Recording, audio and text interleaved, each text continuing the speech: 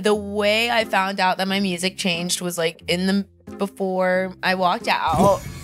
Yeah, it's funny. Like I'm sitting there and we're just probably like shooting the shit. All of a sudden this disco-y, I don't know even what. Yeah, I was like, what is going on? He's like, go. And I'm like, what is going on? He's like, that's your new music. And I'm like, this is weird. They're just like, party.